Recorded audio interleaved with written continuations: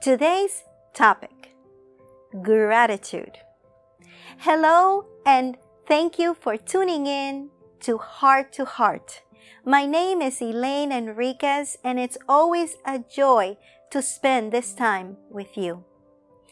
Let's begin by appreciating people for who they are and how they make us feel.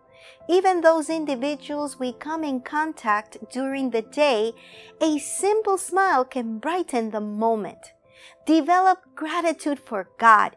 Become an example of gratitude. Gratitude gives us an overall feeling of well being and happiness. Gratitude, along with faith, can be your source of inspiration. It allows us to think of others, to pray for others. Tell people how they've encouraged you. Use gratitude as a form of outreach to encourage others to be grateful. Let's go to the word in 1 Corinthians 16, verse 13. Be on your guard, stand firm in the faith, be men of courage, be strong. I pray you feel renewed and encouraged today you can enjoy these segments where the heart of the Father and the heart of man just come together.